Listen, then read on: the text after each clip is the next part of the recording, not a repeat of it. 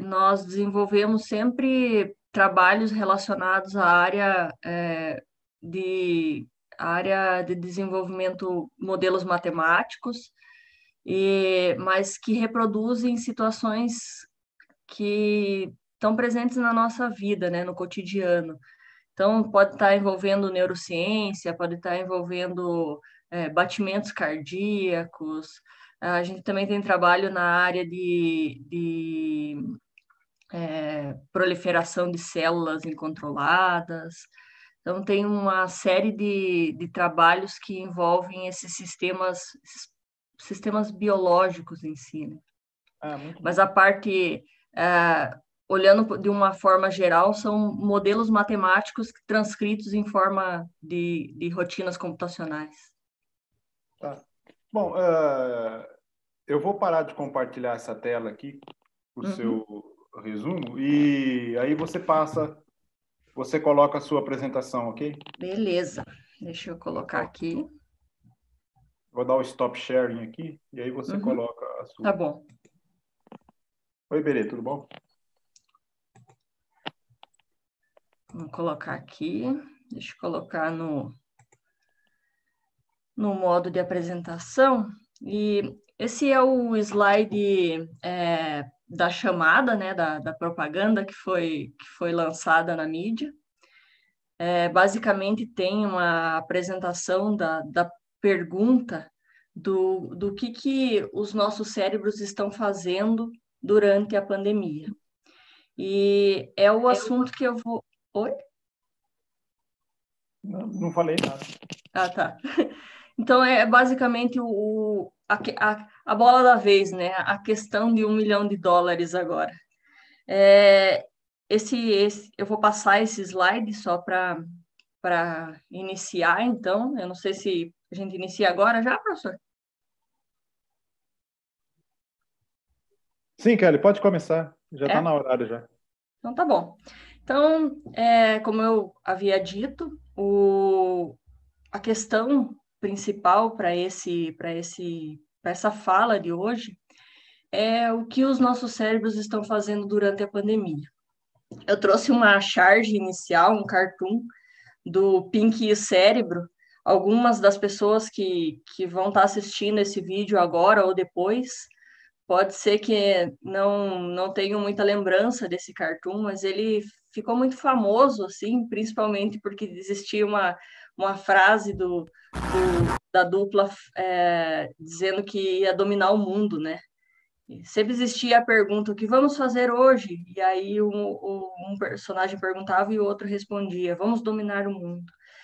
E essa época de pandemia está mais ou menos assim. A, a situação é sempre o que, que a gente vai fazer hoje. O amanhã é sempre planejado. É, a gente tem uma, uma visão do que pode acontecer, faz planos para o amanhã, mas de repente a estatística muda e a gente tem que mudar os planos do amanhã para depois da manhã e assim tá, tá a nossa vida na situação pandêmica. E, mas e o nosso cérebro? Como que ele está como ele está se comportando durante todo esse processo? Em 2017, Uh, o, o grupo do qual eu faço parte, uh, envolvendo diversas pessoas, nós publicamos um trabalho que mostrava exatamente uh, o fato do cérebro não ser estático. Então, o que eu estou querendo abordar hoje, mostrando para vocês o que o nosso cérebro está fazendo, é, é uma questão assim de olhar uh, o copo meio cheio. Nós muitas vezes olhamos para a situação pandêmica uh, só pelo, pelo viés de, da parte ruim que está acontecendo. Ela não tem parte boa, se você for analisar mesmo, não existe essa. Mas o que que, o que, que acrescentou nos nossos dias que não existiam antes? Isso tem auxiliado o nosso cérebro cada vez mais a correr atrás de coisas novas. Então, eu vou explanar um pouco sobre isso no seminário e mostrar que nós temos trabalhado muito o nosso cérebro nos últimos dias. Na verdade, nos últimos cinco meses, né? Se vocês é, fizerem uma, uma análise do tempo que passou. Uh, nesse segundo slide, eu mostro aqui uma, uma abordagem sobre mais ou menos como está a nossa vida. Então, vejam só. É, nós temos estudado muito. Mesmo as pessoas que pensam assim, ah, não, minha vida não mudou nada, eu não estou fazendo nada diferente. É, isso não é verdade. Muitas vezes você se pega tendo que aprender coisas novas para ou poder passar para outra pessoa ou mesmo para poder executar uma tarefa. Algumas pessoas é, estão trabalhando em home office 100% do tempo, outras pessoas têm a situação de trabalhar no home office é, parcial, uma parte do tempo vai para o trabalho, outra parte fica em casa fazendo seu home office, e outras pessoas não tiveram a oportunidade de conseguir executar suas atividades em casa e precisam ir para o seu trabalho, é, visitar uma estrutura física como fazia antes do processo pandêmico mesmo. E mas lá dentro do trabalho ela tem que mexer com pessoas que estão dentro do home office. Então, querendo ou não, você tem que se adaptar e tem que aprender algumas coisas novas. A partir do momento que você tira seu seu, seu sai do seu estado estático, sai daquela situação a sua situação de conforto e procura novas é, situações para resolver problemas, você acaba treinando o seu cérebro de alguma forma. Então, conexões vão sendo reestabelecidas, fortalecidas, algumas vão se perdendo e o seu cérebro vai se transformando a cada momento. Com a situação pandêmica, os problemas aumentaram absurdamente. Parece que todo dia cai um caminhão de problemas nas nossas costas. Só que resolver problema também é treino. Então, ao, a partir do momento que você tem problemas, você passa a buscar soluções. E essas soluções ajudam tanto no processo aonde você resolve a situação, como no seu processo de treino do cérebro. Muitas pessoas precisam, ah, continuam, né, executando tarefas e ainda tem que cuidar, por exemplo, dos, dos ah, filhos que não, não, não têm atividades escolares numa situação presencial, precisam dar um auxílio para essas crianças em relação aos estudos. Alguns pais reclamam que é, a situação não é muito confortável, porque é, não é gostoso você falar para uma criança que você não consegue explicar para ela aquilo naquele momento. E não é todo mundo que é obrigado a saber aquele determinado assunto. Às vezes você não sabe, e não é feio dizer que não sabe, mas você pode procurar saber um pouco mais sobre o assunto para passar depois as crianças têm brincado mais com atividades que são lúdicas, elas têm participado mais de atividades familiares, mas também, em compensação, algumas outros problemas vão surgindo, porque aumenta a quantidade de violência doméstica, é, aumenta também os problemas em relação à economia. Então, todas, os, to, todas as versões da pandemia elas estão acumuladas e elas são discutidas em relação ao que nós pensamos, ao que nós criamos em relação a isso. O nosso tempo, essa imagem que eh, eu coloco na lateral, basicamente mostra uma mão segurando um relógio e esse relógio vai se desfazendo. Esse é o nosso tempo, se todo mundo parar para pensar o que está acontecendo agora com o nosso tempo, é basicamente isso. Ele tem escoado pelas nossas mãos. Ele esco... O tempo escorre pelos, pelos dedos aí. E parece que você levanta de manhã, quando chegou a noite você não fez nada, mas na verdade você fez diversas coisas, fez muitas coisas. E quando eu estava procurando algumas imagens para retratar o uso de aplicativos, de equipamentos como celular, eu me deparei com essa imagem onde existem diversas pessoas sentadas em volta de uma mesa segurando celulares. E aí existia, assim, um pouco antes da pandemia, uma grande discussão falando: ai meu Deus, e agora? Eu é, encontro diversas pessoas em diversos lugares, essas pessoas deviam estar conversando entre si e elas estão com aparelhos de comunicação nas mãos, digitando mensagens, ou uh, escutando áudio, ou mandando áudio, ou vendo rede social. E era uma situação preocupante antes da pandemia, porque as pessoas estavam deixando de ter o contato social para estabelecer uma nova forma de contato social que era virtual. Existiam diversas plaquinhas nos lugares, assim, aqui não tem Wi-Fi, converse. É, só que agora a situação mudou. E quem somos nós? Nesse momento, por exemplo, nós somos retângulos. Todo mundo está se olhando aqui na, na apresentação, quando possível, né? É, em forma de retângulos. Quando você vai para a sua aula ah, na instituição de ensino superior, por exemplo, você se encontra remotamente com seu professor e você e o seu professor são retângulos que conversam e que trocam informações e ele passa as coisas e você também passa as coisas. E as pessoas visitam a casa das outras e elas são é, apresentadas a situações que antes não eram reais para elas.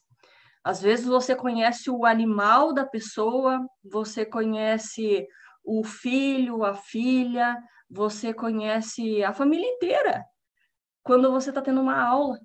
Então, tipo, essas interações foram surgindo ao longo do tempo e o seu cérebro foi se acostumando com isso. Todos os dias, a quantidade de informação que nós recebemos via internet, via jornais, via é, N informações, até a vizinhança passa informação hoje em dia mais do que estava passando no cinco meses atrás. Uma prova disso é quando você vai para o Google Trends, por exemplo, e começa a buscar palavras. Antes as pessoas usavam muito o Google Trends para procurar as palavras que estavam na moda e como estava o assunto em relação às buscas na internet.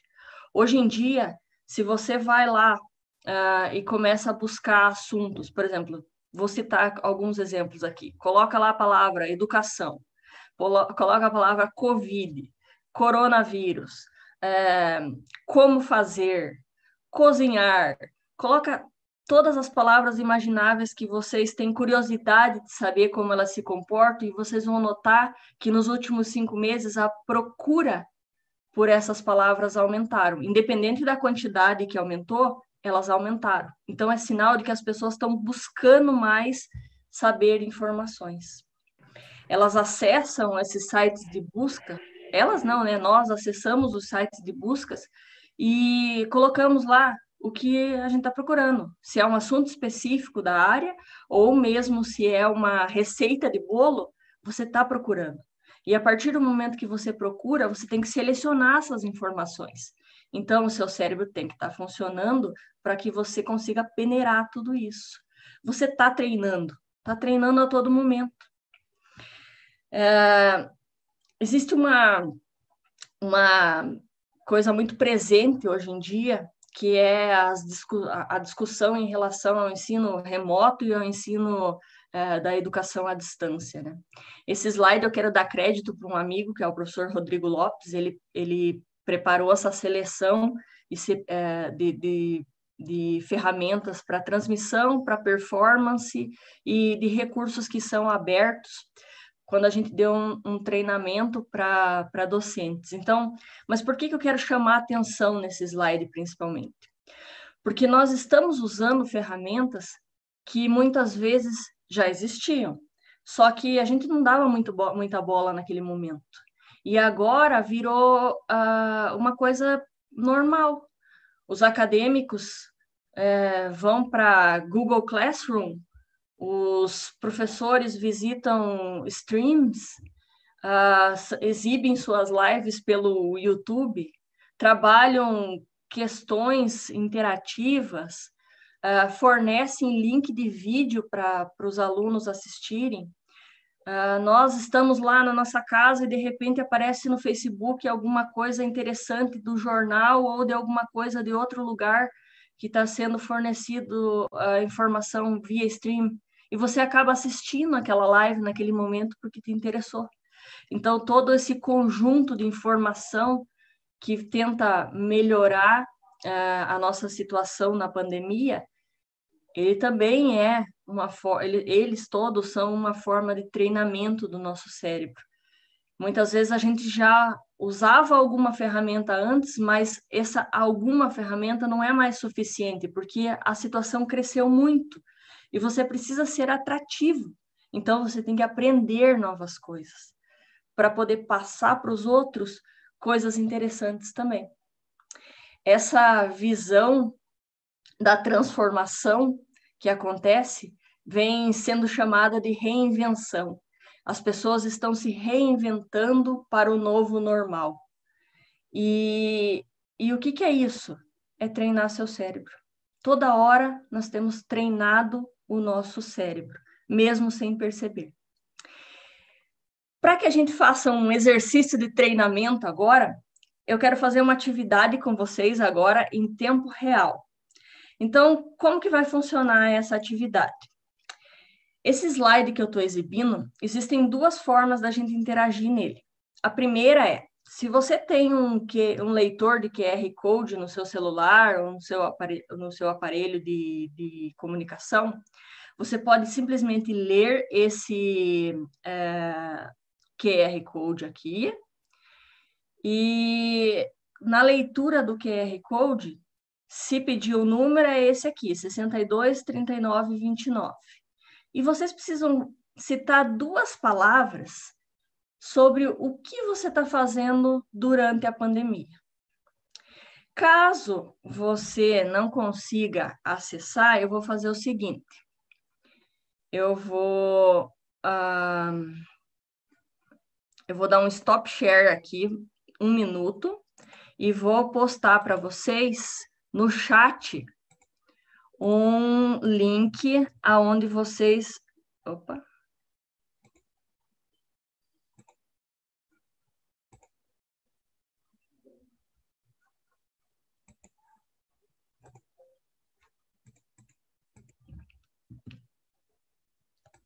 Uma travada agora em tempo real. Deixa eu colocar aqui.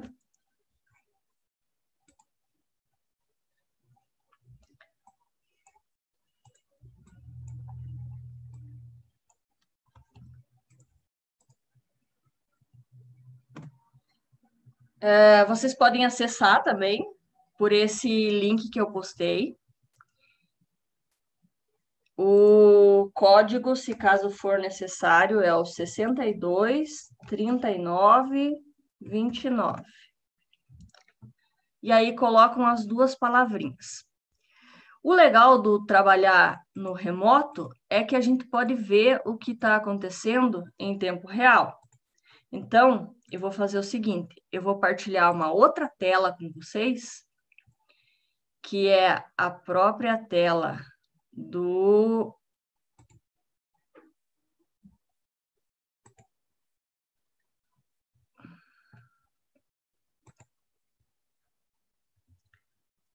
Isso.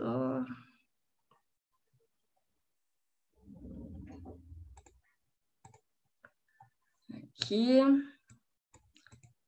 Vou colocar no modo apresentação para todo mundo começar a perceber a transformação que está acontecendo com a nossa nuvem de palavras. Vejam o quão interessante é o fato de que as pessoas podem interagir, podem estar tá, uh, postando as su suas opiniões sobre o que está fazendo durante a pandemia e sobre seu relato mesmo. E conforme as palavras vão aparecendo em maior quantidade, elas vão ganhando uma estrutura de citação maior. Então, por exemplo, vejam que a palavra estudando, trabalhando, ela ganha um destaque maior que as outras.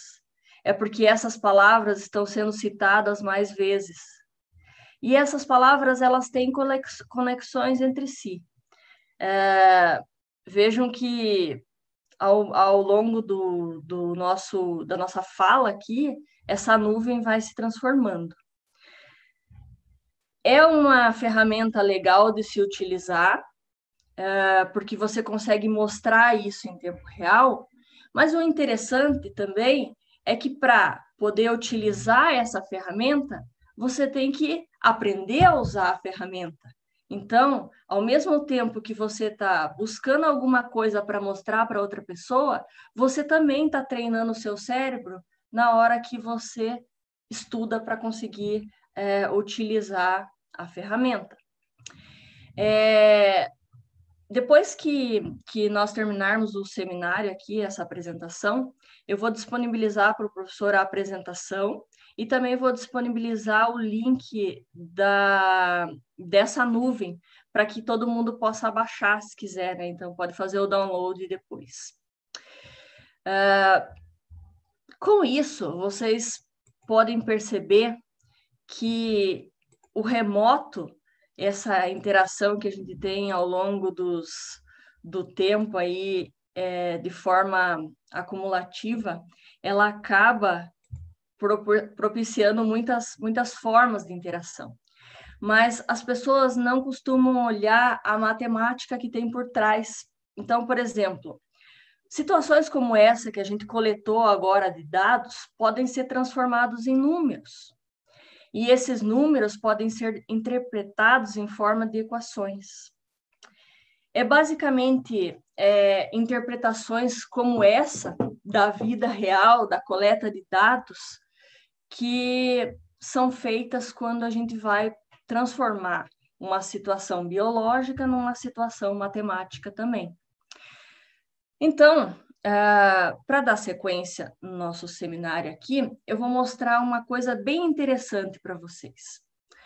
Ao longo dos anos, as gerações vão se transformando.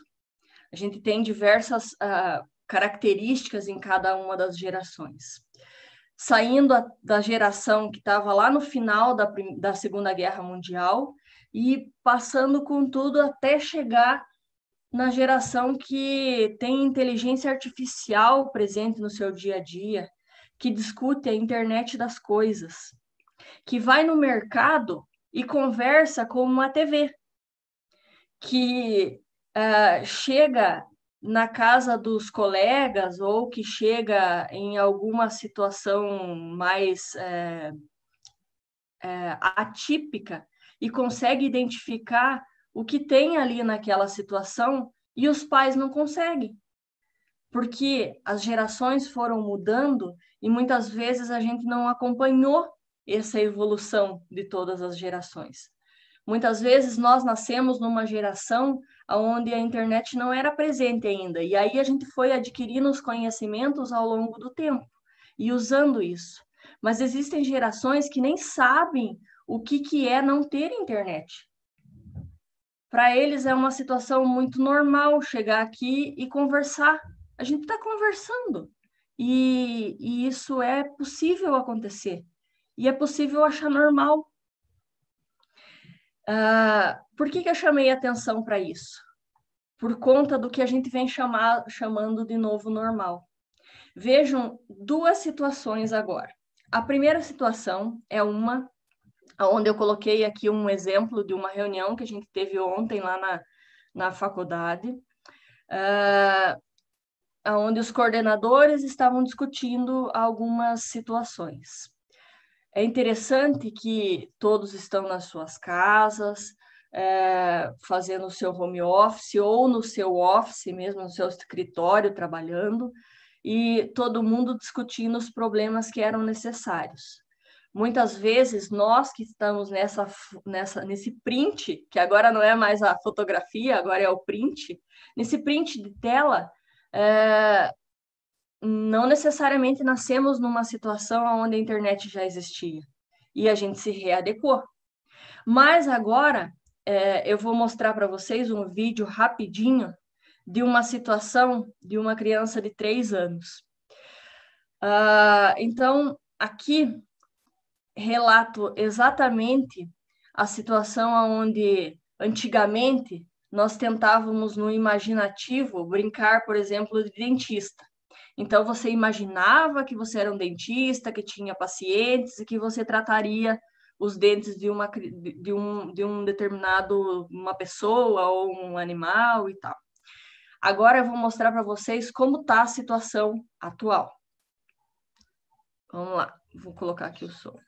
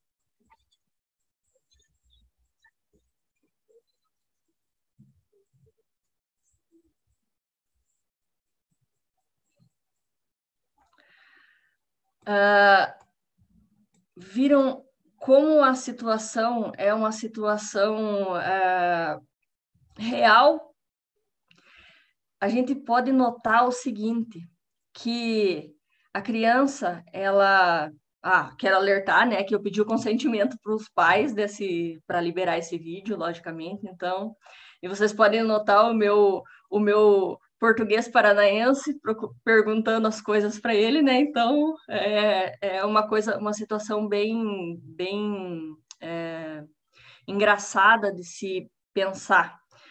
É, agora a criança pega um tablet e ela tem toda a habilidade de manuseio de touchscreen. Simplesmente ela, compega, ela, ela começa a deslocar, sabe o que fazer, é, e ela brinca e ela brinca como se fosse a coisa mais normal do mundo, porque é a coisa mais normal do mundo para essa geração. É, vejam que muitas vezes a gente brincando com um, uma situação imaginativa não teria a noção de que um raio-x era possível daquele dente ali que estava doendo. Mas agora é, é possível. Não estou falando que todas as pessoas têm acesso a esse tipo de tecnologia ainda. Seria excelente se, se, se fosse possível, mas ainda não é possível. Mas o que nós estamos discutindo agora nesse momento é que o trabalho que nós temos para aprender algumas coisas e treinar o nosso cérebro em relação a isso, a manter o nosso cérebro não estático, muitas vezes já é o normal de outras pessoas. E talvez esse normal de outras pessoas, quando a pandemia acabar daqui a um tempo e nós tivermos uma vacina, por exemplo, e as pessoas voltem para o antigo normal, elas tenham que aprender coisas que nós sabíamos antes e que nós sabemos. Então, é uma troca de experiência todos os dias. É sempre uma troca de experiências. Uh, com isso, eu passo aqui para esse slide e mostro exatamente para vocês o que era dito antes em relação à modelagem, o que uh, os meus colegas e eu de grupo, meus amigos e eu de grupo apresentávamos antes e o que é o nosso normal hoje. Nós falávamos muito em relação a condicionamento, quando a gente ia falar em relação da plasticidade cerebral, dessa é, dessa probabilidade, dessa realidade do nosso cérebro estar tá se transformando a todo momento. Então, nós ressaltávamos sempre dois casos, aonde um, aonde uma pessoa sofreu um acidente e esse acidente acabou causando perda de massa cerebral e ela teve uma transformação em relação às conexões cerebrais, ou seja, a pessoa perdeu parte do, do, da massa, perdeu parte do cérebro no acidente, teve todo o tratamento médico que era necessário para que a cicatrização acontecesse. É, a pessoa não veio a óbito, mas ela teve uma transformação em relação às conexões que ela tinha no cérebro para que a vida continuasse. Uh, ou se não, a situação onde nós considerávamos que escrevíamos com uma determinada mão e aí de repente aconteceu alguma algum acidente e não era mais possível trabalhar com essa mão, então a gente passou a escrever com a outra mão. Uh, essa escrita não era uma coisa uh, Opa, tá, tem alguém falando que está sem áudio?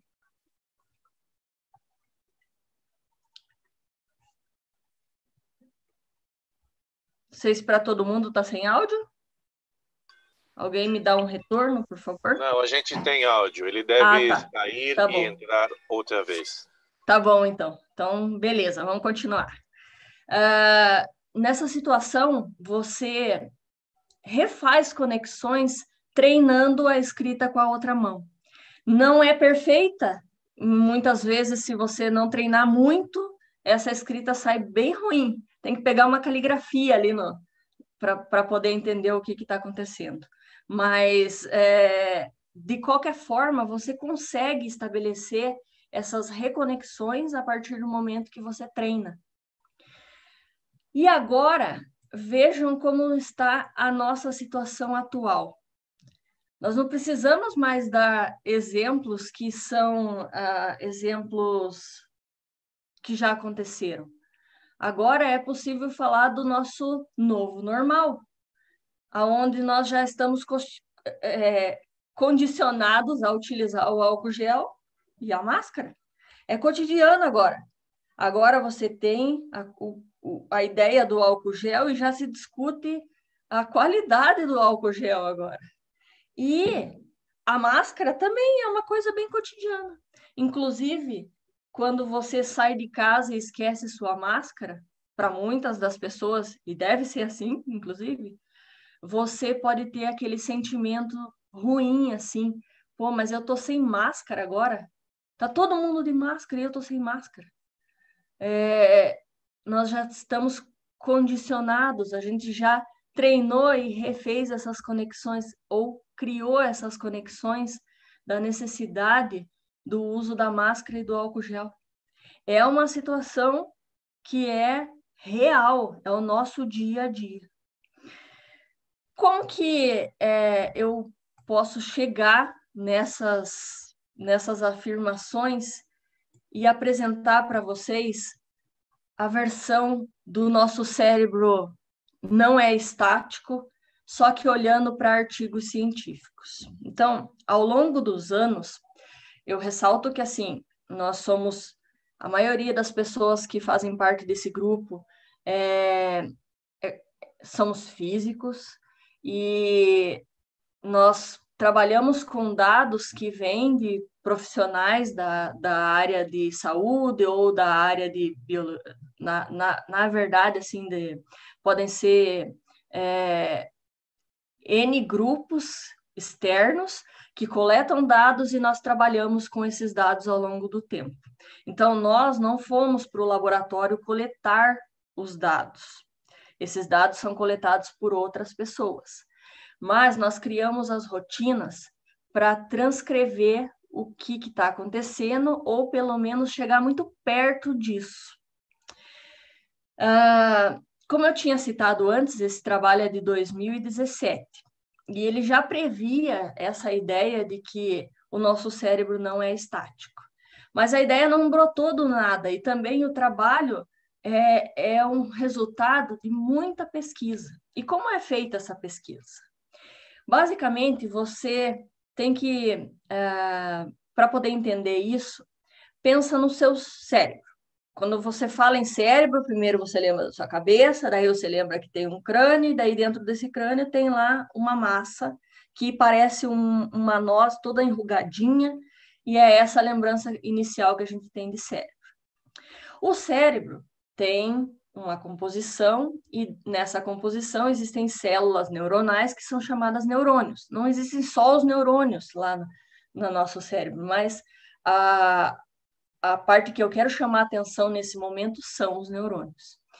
Esses neurônios, eles estão conectados entre si. É como se fosse assim, imagina uma situação onde você tem muitas pessoas e essas pessoas dão as mãos. Em alguns momentos, as pessoas conseguem dar a mão para o seu vizinho, mas em outros momentos, esses vizinhos também têm que dar a mão para outras pessoas. Então, eu tenho uma, uma, uma, imagem aqui que mostra uma situação onde muitas pessoas colocam as mãos entre si. Uh, isso é uma conexão, por exemplo, uh, que poderia acontecer entre seus neurônios muitos neurônios conectados em um determinado ponto. Uh, e também podem ser neurônios que estão conectados só um a um. Então, existem diversas probabilidades, diversas formas de conectar seus neurônios quando você escreve um programa ou quando você escreve uma rotina computacional. Uh, o importante de se saber nesse momento é que no nosso cérebro existem é, essas conexões que são chamadas de conexões elétricas, existem as conexões que são chamadas de conexões químicas. Essas conexões podem ser escritas como equações e os neurônios podem ser conectados dentro dessas equações. Inicialmente, você propõe uma ideia de como é essa ligação entre os neurônios e depois você vai evoluindo o seu modelo matemático. Evoluindo ao ponto de que você consegue tirar resultados. Há muito, há muito tempo atrás, porque agora o, o, o tempo voa, né? Então, dentro da área uh, que envolve a neurociência e as redes, as teorias elas são sólidas, mas a todo momento existem novas descobertas, porque o cérebro é uma coisa magnífica, é um sistema super complexo, talvez seja o sistema mais complexo que nós temos. E a todo momento as pessoas estão contribuindo com, com novas informações. Então, basicamente, construir matematicamente uh, essa ideia de um cérebro virtual aí onde você pode uh, estabelecer conexões, fazer a transcrição em relação a uma equação, é conseguir olhar o comportamento do cérebro em forma de uma estrutura gráfica. Muitas vezes o que nós estamos o que, o que os pesquisadores dessas áreas estão buscando são interpretar esses sinais. Por exemplo, aqui, eu tenho na lateral um sinal que é um sinal considerado, por exemplo, como um spike, que é um disparo.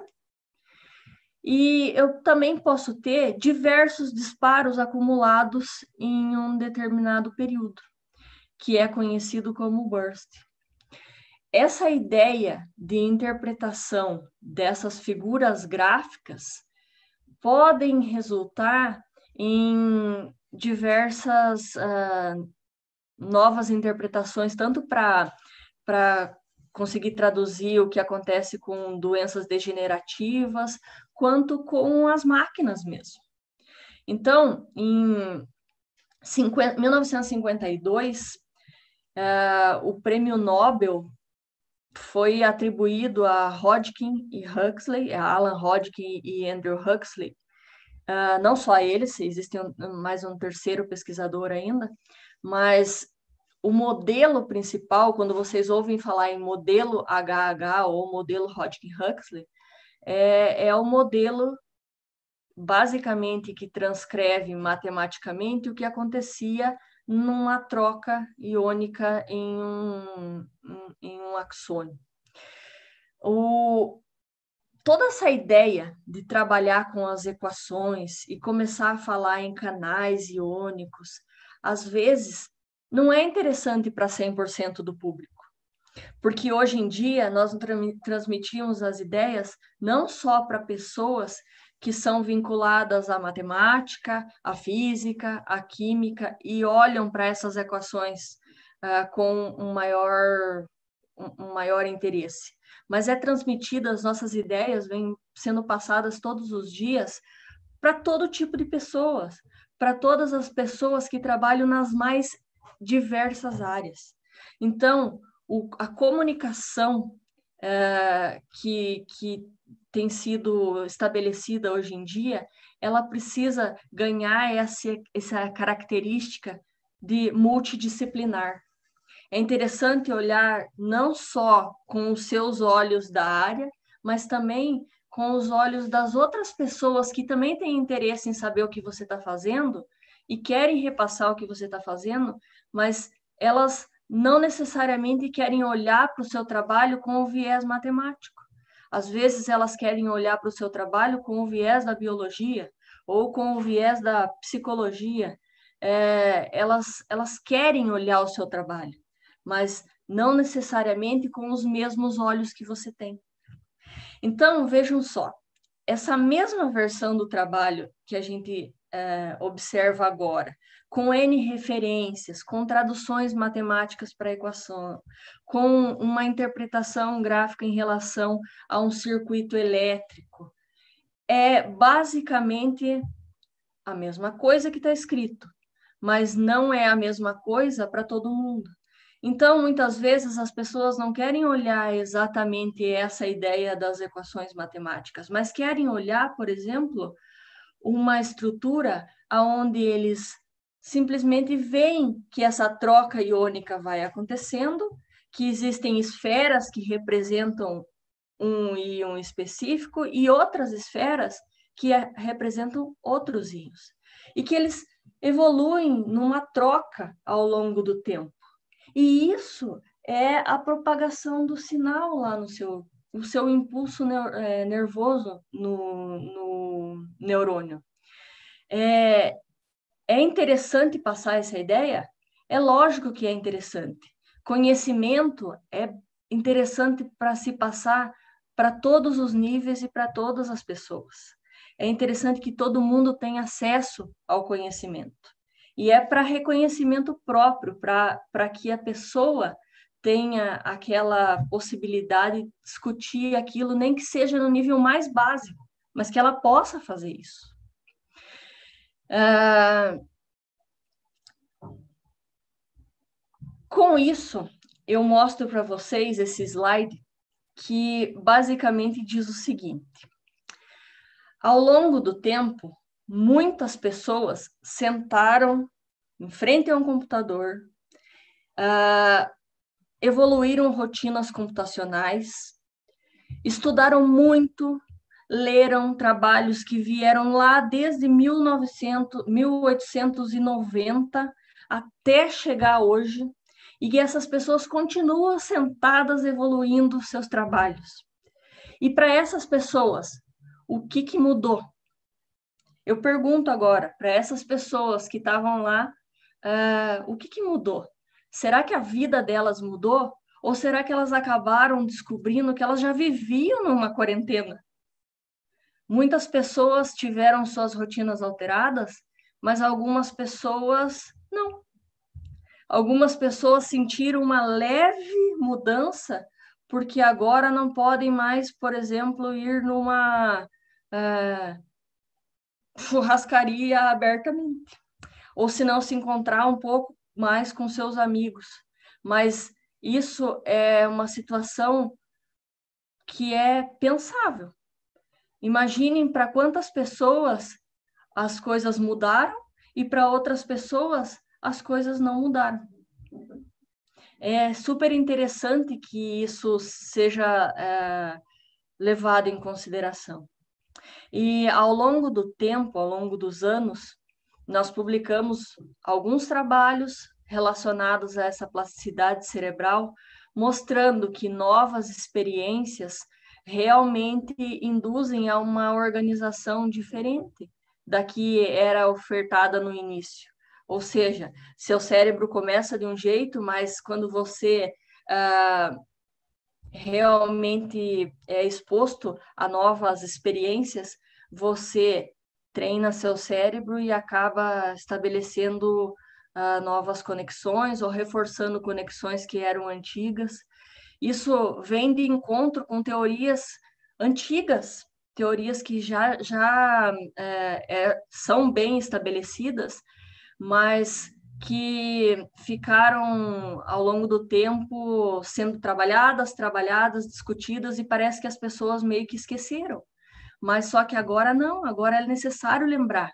Você está trabalhando todos os dias o seu cérebro. Independente de olhar para as teorias com viés matemático, com viés computacional, com viés biológico, você continua treinando o seu cérebro. Existem outros exemplos que eu posso dar que também acontecem aí é, dentro dos trabalhos de, de matemáticos que, que nós temos, que são interessantes para se discutir por conta do como você passa a informação é importante para outras pessoas. Ao longo dos anos, esse aqui é um exemplo bem clássico também. Ao longo dos anos, a gente sempre busca informações em relação ao PIB, ou seja, ao, ao dinheiro do mundo.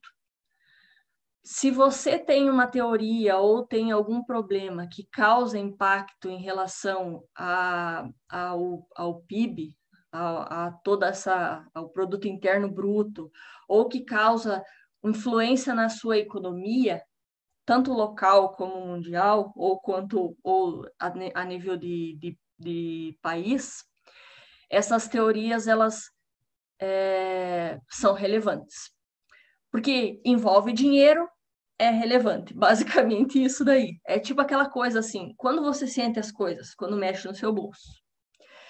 Uh, uma, uma das coisas que, que vem surgindo assim ao longo do tempo é sempre a propagação da informação. Antes, você não tinha muita ideia de que as coisas aconteciam, porque a propagação da informação não era tão uh, rápida como é hoje em dia com a internet.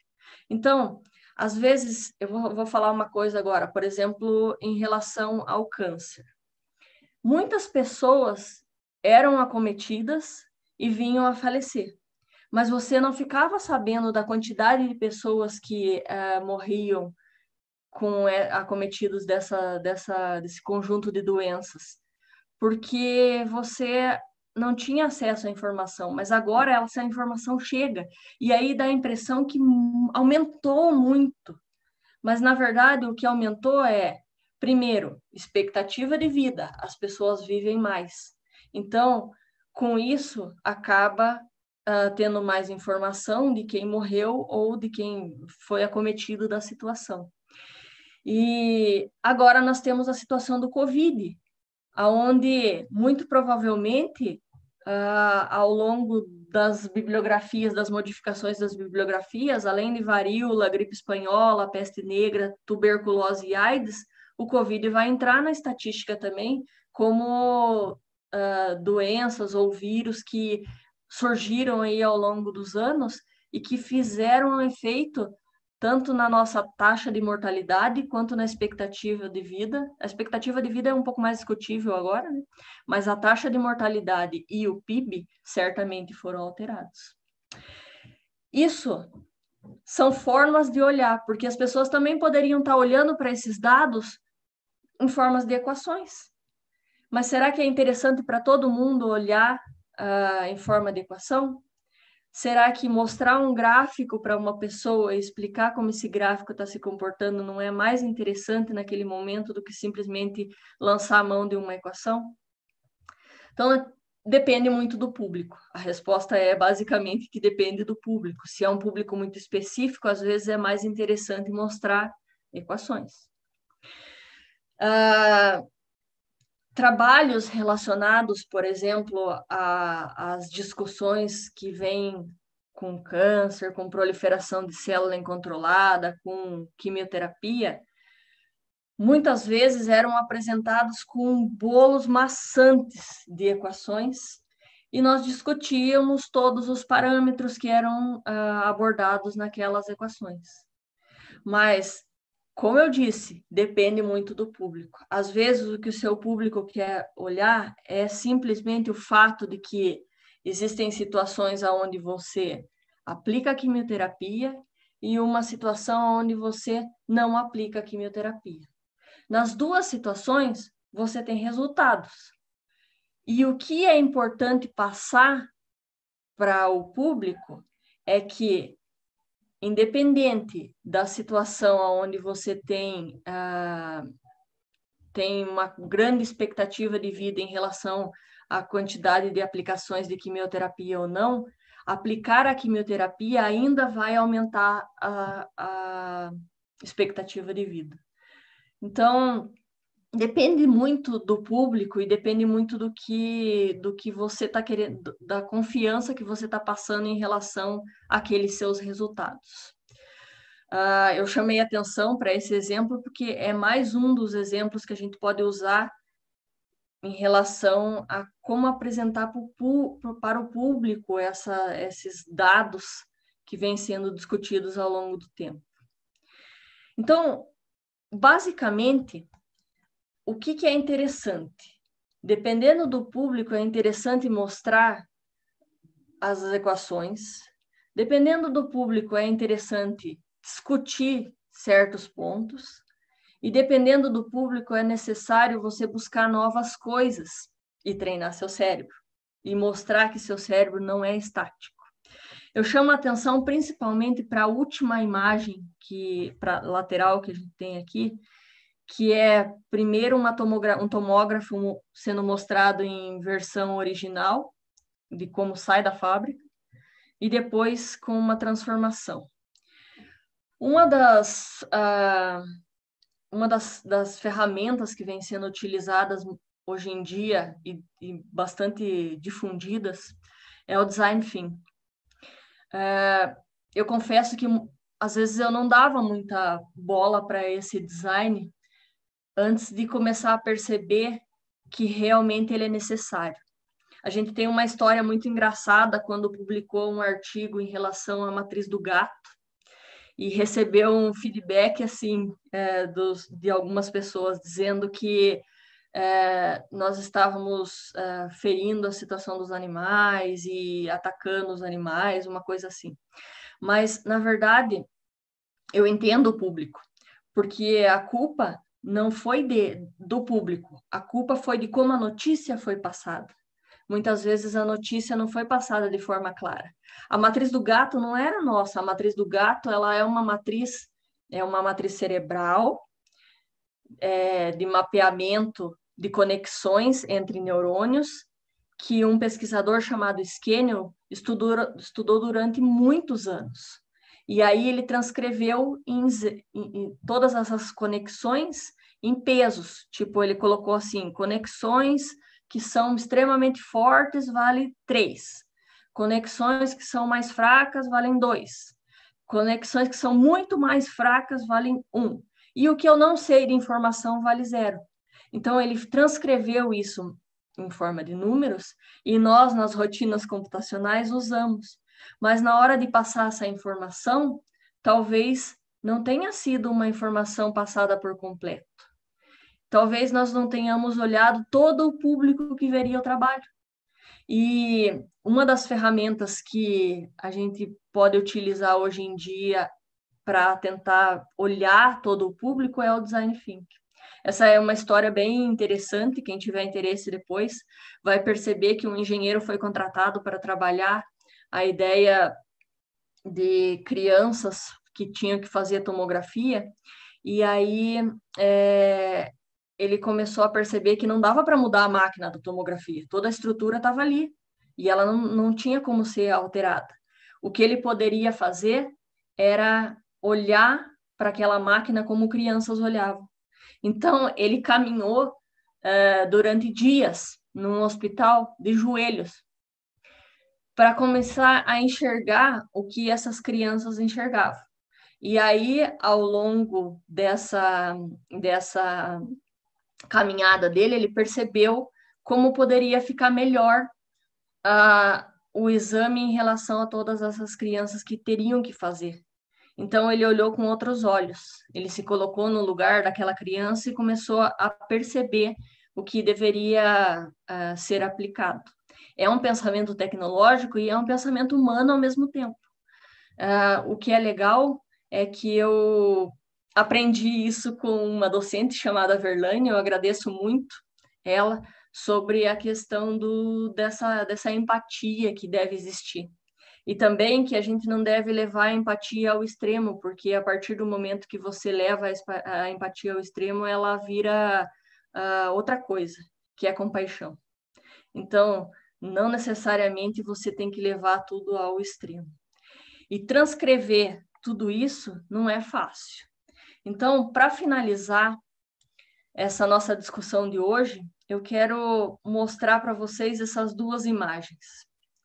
Muitas vezes é mais uh, viável você apresentar para o seu público uma coisa como uma cadeira que está no início sendo mostrada uh, na sua forma original, simples, enxuta, limpa, só com discussões mínimas, do que mostrar todo um aparato tecnológico de uma cadeira gamer que muitas vezes a pessoa vai é, simplesmente devagar e vai falar e vai olhar e falar assim: ah, que bom, é bonito, é tecnológico, não entendi mais nada.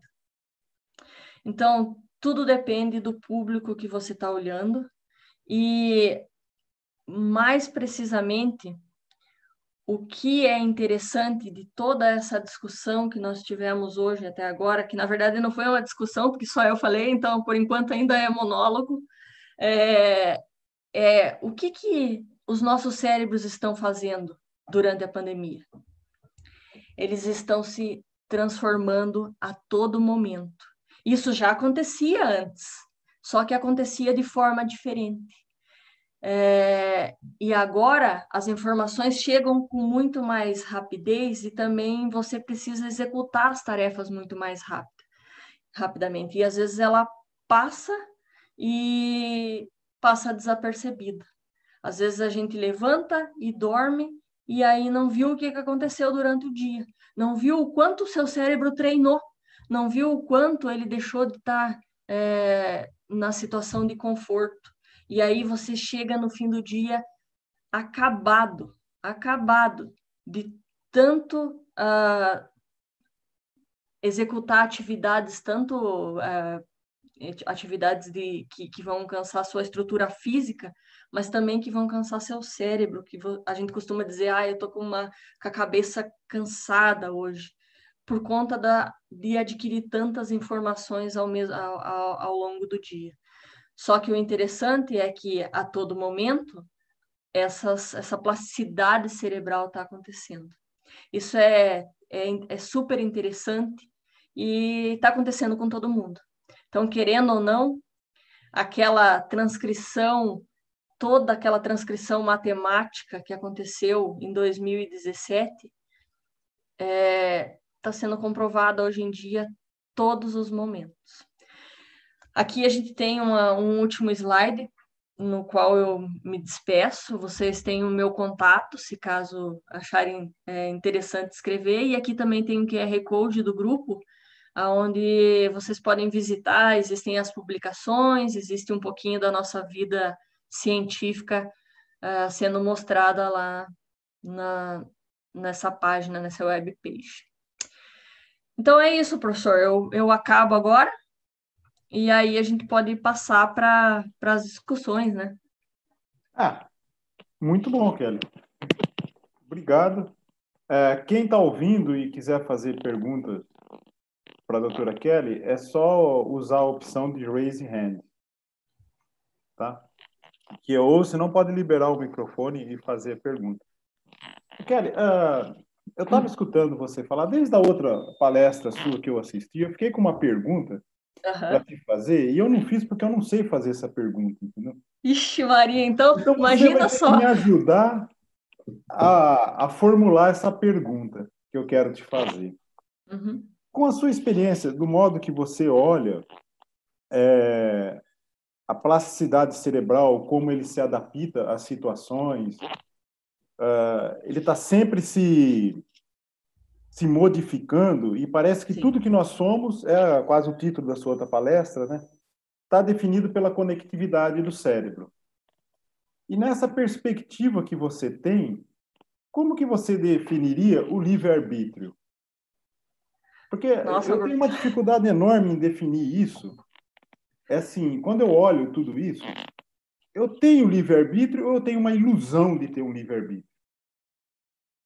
A ilusão, é eu digo, é porque, assim, se tudo que nós somos está definido pela conectividade, é uma coisa que tem a ver com a nossa história. Então, cada escolha que a gente vai fazer, a gente se baseia no que tem na nossa cabeça. Então, não é, na verdade, um livre-arbítrio, né? É uma ilusão que eu estou escolhendo, mas eu vou escolher a única opção que é viável para mim, pela própria conectividade que eu tenho. É, bom, é nesse sentido. Como é que você define isso? Como é que você entende esse.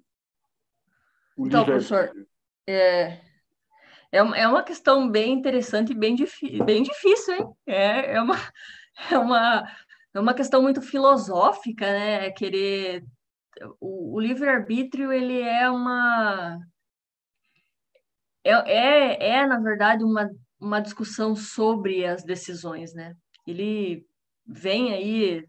Na verdade, a gente, a gente tem muitas, muitas opções em responder como é o livre-arbítrio, porque cada um vai olhar de uma forma. É, eu acho que talvez assim quem, quem trabalha com a área de humanas tem mais, é, mais argumentos para discutir a questão do livre-arbítrio.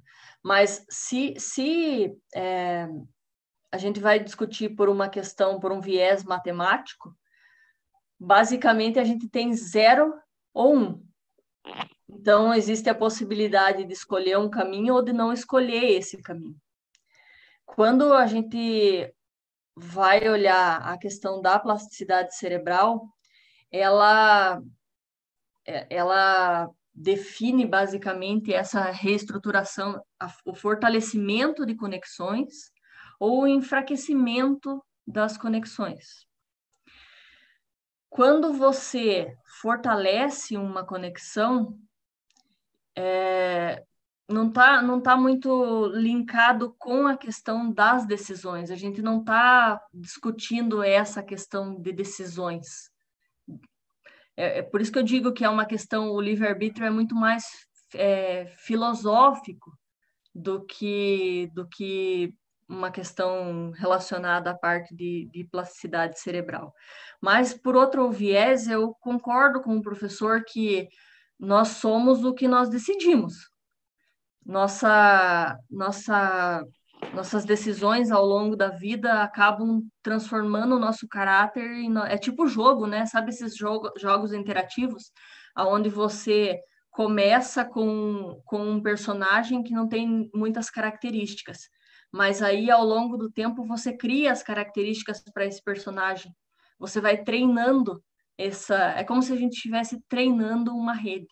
Inteligência artificial tem muito dessas, dessa a parte de neuronal, uh, de training da, da, da rede, tem muito dessas entradas e saídas, mas a questão plástica dessa rede pode transformar ela totalmente. Então, por exemplo, você dá entradas para a rede, para o seu cérebro, estabelece parâmetros, ou seja, dá argumentos iniciais para a vida da pessoa e ela teoricamente teria que seguir aquele caminho. Só que aí vem uma perturbação externa e começa a mostrar para essa pessoa que existem outras alternativas. E aí ela tem que decidir qual é a alternativa que ela vai pegar. Se ela vai pegar um caminho bom ou um caminho mau, ela não pode ficar em cima do muro.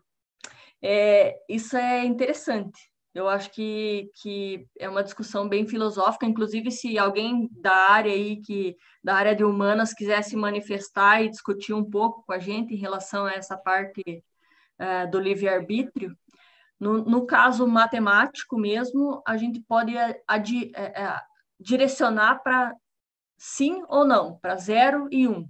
São decisões concretas. E dentro das redes também, a gente decide uh, em relação a essas probabilidades. Mas agora, em relação ao humano mesmo, essa discussão mais filosófica, eu, eu, eu preferia que outra pessoa discutisse com mais a fundo, né? Eu acho que não vale a pena entrar na área das é. outras pessoas e falar bobagem ainda, né?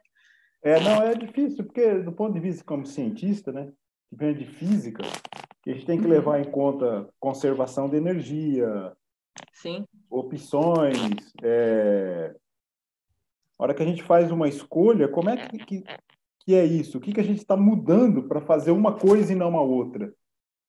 Entendeu? É, da onde que vem isso? Então, é, realmente, acho que você falou a palavra-chave, sabe? Acho que tem que... O, o problema é que eu acho que não é nenhuma área da conta disso, porque você joga para filosofia, né? Aí tem a parte da, da física, por exemplo. É, ar, ar, todas é, é uma pergunta muito multidisciplinar, né? Todas as todas as áreas vão poder opinar de alguma forma. E, e talvez no final, depois que coletar todas as informações de todas as áreas, ainda a gente não tenha uma resposta concreta. Porque ainda é, ainda no final de tudo ainda vai, vai, vai gerar o livre-arbítrio, porque algumas pessoas vão poder decidir por uma linha e outras por outra. É, exatamente. É meio que loop, né? É, é um loop que a gente entra, na verdade, quando, quando fala dessa questão. É, tem alguém falando que pela ciência do comportamento não existe livre-arbítrio. É. é. Às vezes eu tenho essa sensação também, porque dá a impressão que qualquer atitude que a gente for tomar, já, ela já foi definida pela nossa história, sabe? Então a gente tem uma ilusão que está tendo um livre-arbítrio, mas na verdade não tem esse livre-arbítrio. É, porque é tudo isso que você falou mesmo, a gente vai é, interagindo e vai mudando. A nossa ação lá atrás muda alguma coisa de como vai ser o nosso cérebro, vai evoluir. E ele vai evoluindo de um jeito, de modo que cada escolha que a gente for fazer, ele já está mais ou menos definido pela rede. Tanto é que tem aquele exemplo que você sempre usa, né? Que a pessoa que perde neurônios muda o comportamento, né? Que sofreu um acidente, que é justamente isso. Ele reconfigurou a rede, então as opções que ele vê são outras a partir daquele momento. Bom, é isso. É. É, tem, uma, tem uma pergunta no chat aqui falando o seguinte: é, fazendo um paralelo entre a oferta e a demanda, fazendo uma analogia, um ser se alimenta de alimento líquido, uh, não demanda dentes. Se tecnologia facilita a nossa vida, o aumento do uso da tecnologia durante a pandemia pode nos deixar mais burros? Essa é uma pergunta bem interessante e é uma, é uma questão bem discutida hoje em dia, né? É super interessante o fato de que, às vezes, os facilitadores parecem que vão, vão deixar algumas coisas obsoletas e a gente vai deixar de usar. Então, mas uma coisa que, que assim que está muito presente hoje em dia é e que algumas pessoas já usavam no passado, mas não eram todas, é o seguinte. Então, vamos, vamos pegar a questão da, das discussões científicas mesmo. Ah, ao longo dos anos, as pessoas foram estabelecendo parcerias fora dos seus, dos seus países, por exemplo. Então, vamos supor, ah, hoje você, hoje, hoje eu, há tempos atrás também, né, desde que a internet foi é, nos ofertada, é possível você trocar informações em tempo muito mais reduzido com pessoas que estão lá do outro lado. E a gente já estava trabalhando assim. Muitas vezes você trabalhava por e-mail, conversava, tinha discussões científicas com outras pessoas via Skype, usando a situação remota. Não era para todos ainda, mas uma grande parcela das pessoas usava isso. Hoje, as indústrias começaram a perceber que é, é possível as pessoas fazerem reuniões em diferentes locais e as reuniões funcionarem.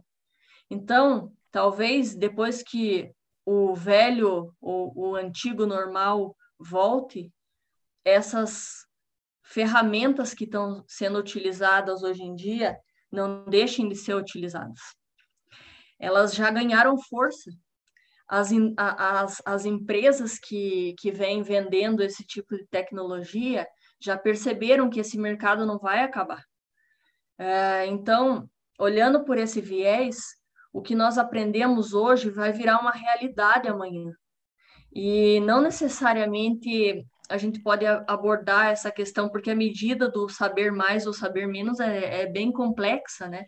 Então, uh, eu não acredito que, que a pandemia tenha, ela pode ter deixado muitas pessoas mais preguiçosas, porque você pode fazer o seguinte: você pode estar na sua casa trabalhando uh, em home office, e então você não se preocupa em, em, por exemplo, tirar o pijama. E aí isso acarreta diversos problemas. Os, os, as pessoas que estão, por exemplo, assistindo essa, essa transmissão, podem, que, que tenha, uh, trabalham com psicologia, o, o Douglas, eu vi ele aí, é, pode estar discutindo isso depois, que é a questão de você estabelecer certas rotinas. Porque se você não estabelece certas rotinas, você acaba desenvolvendo algumas, algumas questões que são psicológicas ou que são uh, de cunho uh, que alteram a sua vida. E, mas não necessariamente elas nos deixam mais é, burras, como foi, foi colocado na questão. Elas, na verdade, nos deixam talvez mais preguiçosos. Ah, algumas coisas substituíram outras por uma questão de velocidade, e outras coisas, depois que o normal, o antigo normal voltar, elas não vão poder acontecer é, de forma remota. Um caso, por exemplo, é Vamos, vamos, vamos pegar bem a fundo assim a questão educacional, que é trabalhar laboratórios, por exemplo.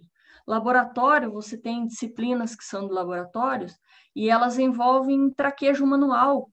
Às vezes você não vai para o laboratório pensando, você que está indo para o laboratório fazer a prática experimental pela primeira vez, pode estar tá pensando que o cunho é chegar no resultado Exato, que o professor quer olhar aquilo ali e ver que você. Mas muitas vezes não é isso. O que o professor quer é que você chegue lá no laboratório e sinta e olhe um paquímetro e veja que ele existe e que é diferente você olhar um paquímetro na tela e você pegar um paquímetro e mexer ali nele e fazer uma medida de uma esfera ou alguma coisa assim. Então, tem coisas que não vão conseguir ser substituídas e elas vão precisar voltar. E tem coisas que vão ser substituídas, certamente. Então, uh, eu agradeço a questão, é uma questão muito legal. E realmente, algumas coisas facilitam, outras vão deixar a gente mais preguiçosos, e a vida é assim. É, é vida que segue, né? É, posso fazer um, um, comentário sobre faz, faz, uh, essa pergunta? É que é o seguinte, toda vez que a gente introduz uma nova tecnologia, eu acho que ela cria novas perspectivas. Ela permite você fazer coisas de um modo diferente, ou melhor, ou mais rápido. Então, com essa tecnologia que a gente está tendo de comunicação, o que está fazendo é abrindo novas possibilidades ainda a serem exploradas. Então, a gente está aprendendo outras coisas. Uma coisa que a gente está aprendendo que talvez a gente não gostaria de ter aprendido, né, é o potencial disso em termos de fake news e rede do ódio, né? Sim. Então, eles perceberam essa possibilidade e estão explorando. Então, novas leis estão sendo feitas. Então, é, é, eu acho que a gente nunca fica mais burro com a tecnologia. O que a gente aprende é que ver as possibilidades e criar outras possibilidades, mas a gente fica cada vez mais dependente dessa tecnologia. Por exemplo, o pessoal que explorou o potencial das fake news, agora estão ficando à, deriva porque estão cortando a rede deles, entendeu? Então eles estão perdendo o acesso a essa tecnologia. Então acho que é isso. A nossa inteligência está em como explorar a tecnologia de um é. modo produtivo. Sabe que tem uma, uma coisa, o professor falou agora uma coisa, eu me lembrei e achei interessante até compartilhar com vocês, que é a questão do telefone, né? Uh, do, dos smartphones, mais, mais propriamente dito. A Sony, há um tempo atrás, até lançou, tentou lançar de novo, os telefones com teclado, sem touchscreen. Mas uh, é engraçado que não teve, não teve mercado, não teve venda. E, e o interessante é o seguinte: como nós vivemos sem o touchscreen tanto tempo, se a gente não pode mais viver sem ele? É basicamente assim, tipo, uma discussão é, incrível você pensar que é será que é possível as pessoas regredirem em relação a, outra, a, a, a algumas coisas? As, os, os facilitadores né, tecnológicos. Acho que isso é uma coisa super interessante. Às vezes a gente começa a utilizar uma tecnologia e você não quer voltar atrás mais em relação à, àquela tecnologia, porque ela facilitou a sua vida em alguma coisa. E então, esse exemplo do, da volta do teclado uh, de, de, de, botão, né? Teclado de botão, é uma coisa que as pessoas já não aceitam mais. O, tem, mais, tem uma outra questão aqui falando sobre a, o papel da física na ciência multidisciplinar. Eu, de, de, assim, a minha formação, a minha formação uh, no ensino superior, ela já começou é, dentro da física, mas já começou no multidisciplinar, porque eu fiz iniciação científica em. Eu fazia licenciatura em física e fazia iniciação científica na área de solos, depois eu também fiz iniciação científica um pouco na área de educação.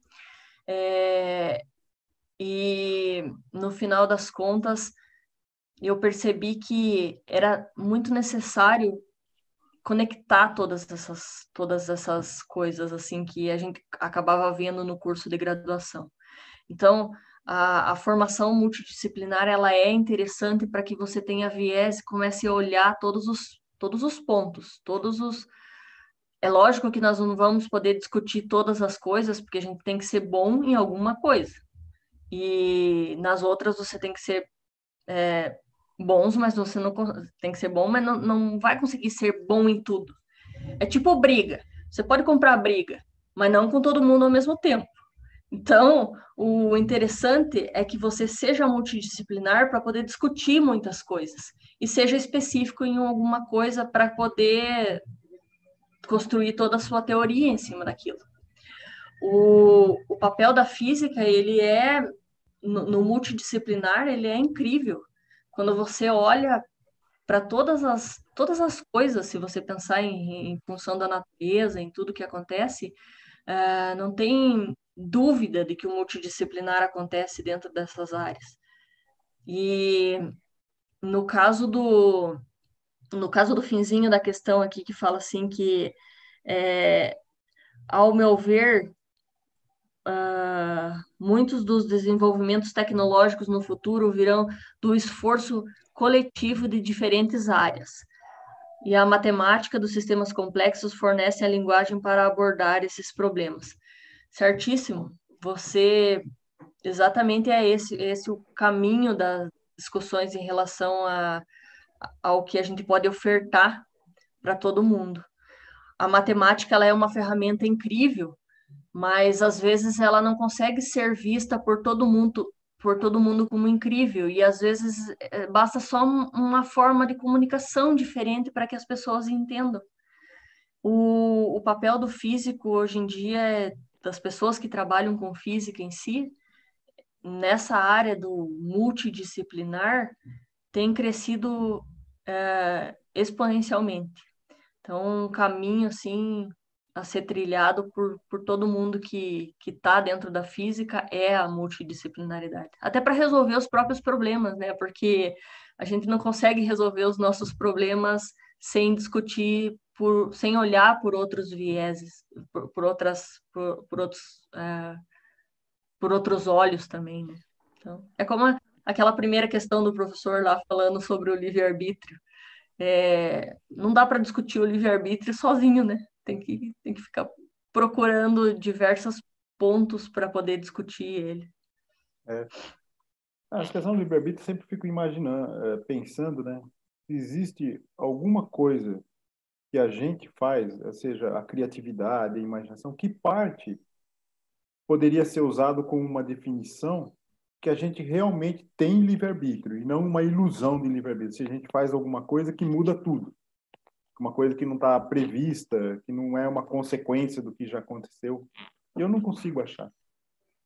Bom, é, eu quero comentar uma coisa também. É, geralmente, quando a gente tem essas palestras, o pessoal que quer perguntar acessa aquela opçãozinha de levantar a mão. Aí tem uma listinha de pessoas. Eu estava tentando procurar isso, eu não achei essa opção. Eu acho que, por algum motivo, nessa palestra não está habilitada, porque eu não estou vendo ninguém levantar a mãozinha azulzinha que aparece ao lado do participante, sabe? Uhum. Eu não sei, eu acho que aconteceu alguma coisa nessa sessão aqui do, do Zoom que essa opção não está aparecendo. Se alguém tá. souber como achar ela, ou se é. ninguém mais quiser fazer pergunta pelo chat, quiser fazer uma pergunta, faz pelo chat. Uhum. Porque é, é isso que eu estava te falando, cara, esse negócio da, do livre-arbítrio é uma coisa que eu fico pensando bastante em termos do, de física clássica e física quântica, sabe? Uhum. Se pela física clássica, uh, não me parece possível existir o livre-arbítrio, só uma ilusão de livre-arbítrio, sabe? Porque de algum é, modo. É, pode ser uma. É, é um, é um caminho a se pensar, né? Porque se, se a gente vai discutir essa questão de, de que todas as suas decisões alteram o seu futuro, então, na verdade, quando você chegar na hora de você escolher, na verdade, você já escolheu, né? É, exatamente. Você, você, você acha que você está escolhendo alguma coisa, mas não está escolhendo nada. Então, isso é uma coisa boa. Se for assim, quer dizer que a gente não precisa ficar estressado com as coisas, não precisa nada. O que vai acontecer já está pré-determinado, né? Então, é só relaxar e aproveitar a viagem. É. é mas sabe que não é bem assim, né? As coisas, as coisas não caminham sempre desse jeito, né? É. é Bom, Kelly, é isso. Eu acho que foi bastante esclarecedora esse ponto, né? Chamar a atenção de que a gente está realmente. A gente é uma coisa dinâmica que se adapta, tem uma facilidade incrível de se adaptar, né? Uhum. E... É, isso é uma, isso é uma coisa que, que aconteceu, assim, a gente, ninguém estava esperando. Uh, quando a gente teve a notícia, ainda teve um tempo para se adaptar, mas é em prazo de em prazo de um mês, assim, a maioria das pessoas já estavam na, na luta com, com, com o uso de ferramentas e descobrindo novas coisas ou descobrindo como usar as coisas antigas. Então, acho que a adaptação foi a adaptação para quem é, teve tempo foi foi legal, para quem não teve tempo também foi legal, porque as pessoas começaram a perceber que são que é possível se superar, né? A todo momento elas conseguem se superar. É, e realmente a gente não, pelo menos quem está dando aula, né? A gente não teve muito tempo, não. Foi, acho que uma semana a gente teve que passar tudo que era presencial para para online. Pois é. E é, depende de como a pessoa tinha a aula pronta, facilitou bastante, né? Eu vou colocar no chat aqui a lista de aquela lista de cursos que eu, que eu comentei no, na apresentação, os que são ferramentas, de performance e os de transmissão também. Se ah, alguém sim. tiver, às vezes tem alguém assistindo que quer, quer ter acesso né, a essas, essas ferramentas. São gratuitas, então a galera consegue acessar e Fala nisso. Ah, não, vai, vai salvar automaticamente aqui. Eu pus para gravar, ele, ele salva o chat também. Tá, aham. Também tem isso, o. Fala. Também tem o link da nuvem. Vou colocar aqui também. Tá. Que nuvem você está falando? Aquela que a gente brincou lá das palavras.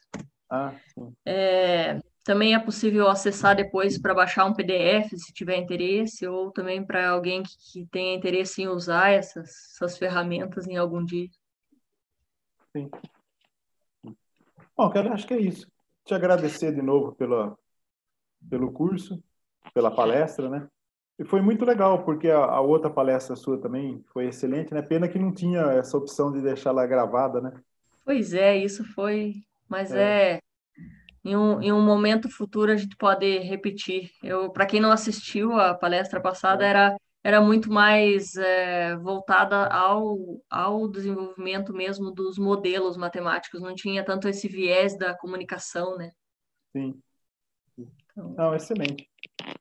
Eu que agradeço a participação de todos e ao convite, professor. Muito obrigado. E a gente está sempre disponível para essas comunicações que são super interessantes. Ah, sim, muito legal mesmo. Bom, Kelly, obrigado. Então, quero agradecer a todo mundo que participou, pessoal que está aqui no Zoom e também tem o pessoal que deve estar tá assistindo pelo YouTube, né, que não aparece listado aqui. Depois a Malu fala para a gente quantas pessoas estiveram vendo lá. Tá bom, Kelly? Um grande abraço para você, tudo de bom aí, sucesso.